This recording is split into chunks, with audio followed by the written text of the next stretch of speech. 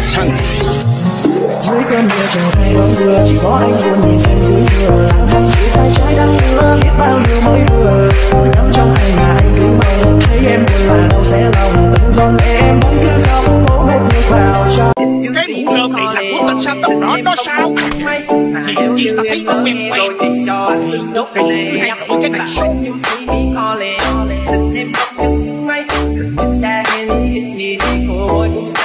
Sabo, cánh tay phải của Dragon, aka anh trai của Luffy vẫn còn sống sau đòn tấn công của Im Sama. Sabo đã không ở trên hòn đảo lúc Im Sama tấn công, mặc dù là người lửa Logia, nhưng mà Sabo vẫn bị thương khá nặng, chứng tỏ sức mạnh của Im Sama và Uranus cực kỳ là khủng khiếp. để em được làm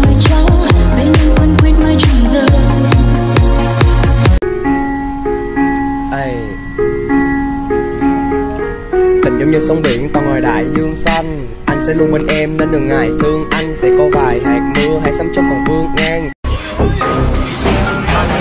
Muốn đâu mà một mình trốn trong nhà nhiều lần ngày làm tao thấy thêm đồ và lồi làm với ông già người tình hẹn nào nay đuổi theo chồng và lấy một giấc mơ hồng Hàng ngày càng em cứ có xa và uống phi ở trong lòng Hãy muốn hàng Hôm mi lối khi gàng Hợp đồng tiền đầy buôn bán khó không đi đến thiên đàng Mama luôn muốn con sống an toàn. Mà con luôn phải đàng hoàng. Con biết con biết châu quả da vàng. Con không thể đâu hàng. Yeah.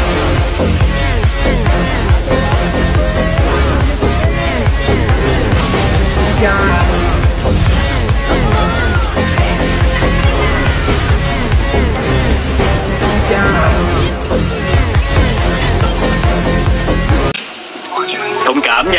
vẫn chưa quen với năng lực này.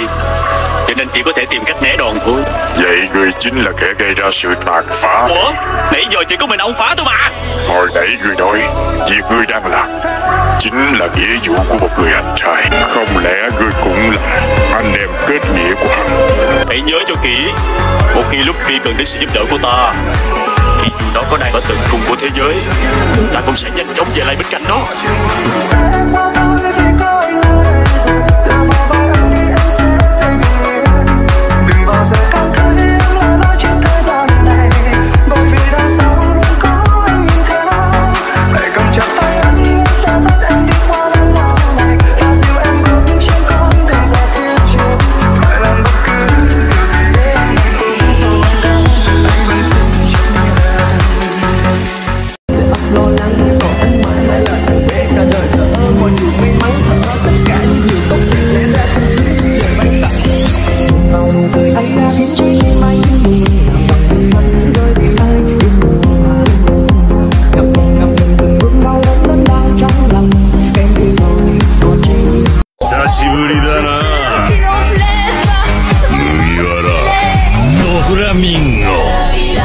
俺はルフィロロノアゾロビンスモークサンジ một ngày buồn mưa đến gió mang em đã xa xôi về thăm tìm lại một người xa xưa khúc sông quê em như con đò đường nhớ lòng khúc dòng tấu em còn một thời mong mơ giờ đâu thấy cô bé năm ấy anh ôm sầu bước trên mặt đôi theo tiếng bước chân khuyên ai có lên bóng phật anh chẳng lòng ta từng từ đêm thâm trắng chỉ mong được bao lại cố nhân một lần được không còn thương sao ta không tức về một hải tặc thuộc thế hệ mới mũ rơm can đảm thách thức Big Mom một trong những thế lực thống trị từng thế giới hàng chục năm đã khiến cho cả thế giới phải xôn xao.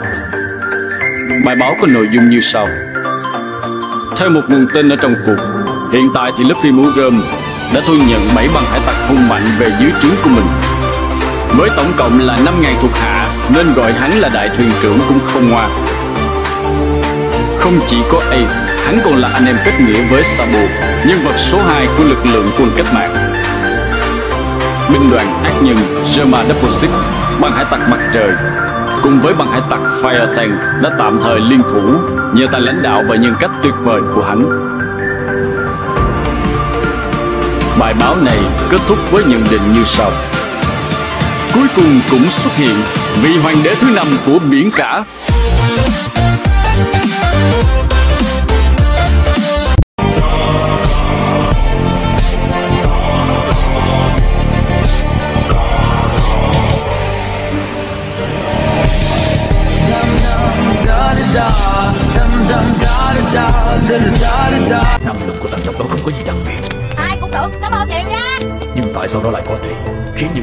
trở thành đồng minh như vậy chứ. Vượt lên trên tất cả những kẻ khác. Đó mới là kẻ sở hữu sức mạnh đáng sợ nhất.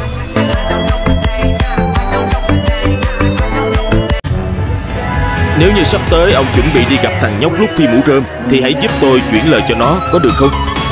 À Không thành vấn đề. Mọi người định tới Wano Quốc sao? À. Phải lặn lội tới đó. Để làm gì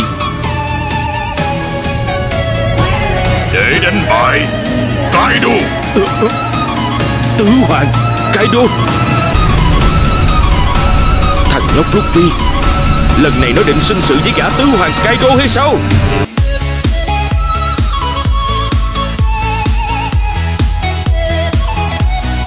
Otama, em không biết anh Ace nữa sao? Dạ, muội với huynh ấy thân nhau lắm. Cũng vì huynh ấy mà muội đã quyết tâm sau này lớn lên sẽ trở thành một nữ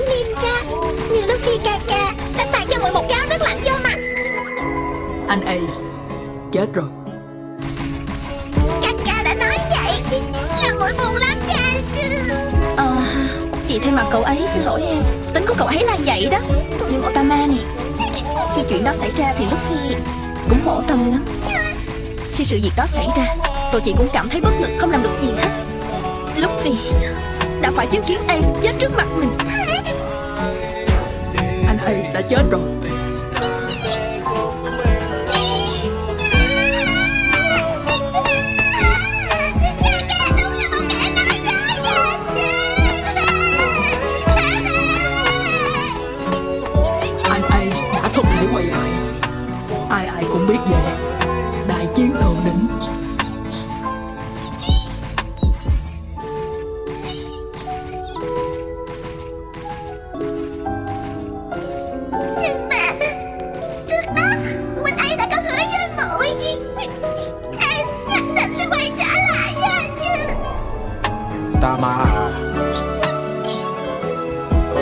sẽ quay trở lại đây Khi đã trở thành một băng hải tặc hùng mạnh hơn. Vậy thì khi gặp lại Mình có thể cho muội gia nhập không sư Muội rất muốn cùng mọi người đi lên trên biển Khi tụi anh trở lại Nếu nhóc trở thành một nữ ninja hết hồn mọi người Thì anh đồng ý. Da Muốn hết hồn thì có hơi khó à nên Muội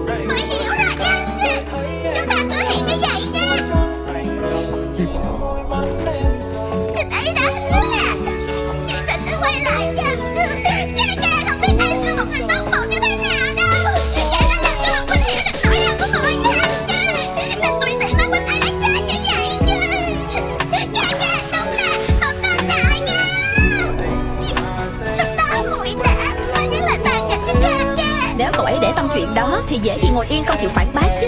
Nên không sao đâu. Này, Luffy chính là như vậy. Anh còn nhớ lúc bọn anh tới Alabasta? Quá mình hiểu rồi. Đó Tôi suy nghĩ như vậy đó thì sao? Một muốn không một ai phải hy sinh có gì không đúng hả? Bao nói đi Luffy Ai cũng phải chết thôi Cậu ấy trả lời bình thản như vậy đó.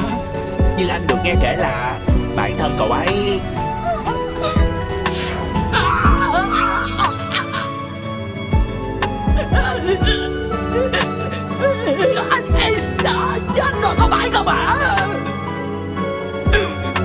Phải Cậu ấy đã không còn nữa.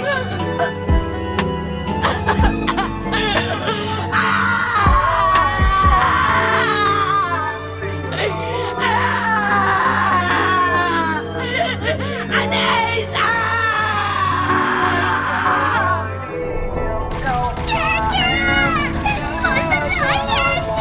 Chị đã nói là không sao rồi mà.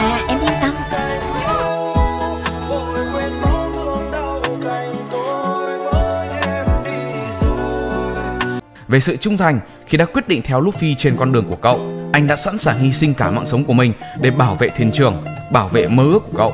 Vì với Zoro, nếu bảo vệ được Luffy, thành công đưa cậu đến con đường trở thành vua hải tặc. Còn quan trọng hơn hoài bão lớn nhất đời mình là trở thành kiếm sĩ vĩ đại nhất thế giới. Vì vậy Zoro đã sẵn sàng từ bỏ tự trọng của một kiếm sĩ, cúi đầu và cầu xin chính kẻ đã đánh bại mình nhận làm đệ tử để có thể trở nên mạnh mẽ hơn. Không phải vì chính bản thân mà là vì Luffy, thuyền trưởng của anh. Lòng trung thành cũng được Zoro rất coi trọng và anh không tha thứ cho bất kỳ đồng đội nào nếu họ phản bội lại chính thuyền trưởng hay bất kỳ thành viên nào khác trong băng.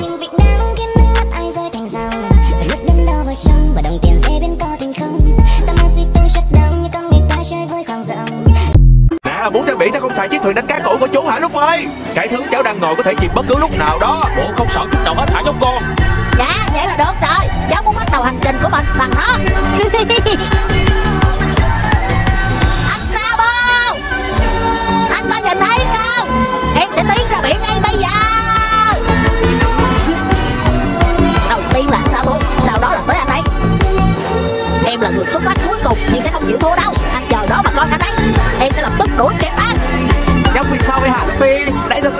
ngoài vậy Bộ nhóc đã đặt thần chú à?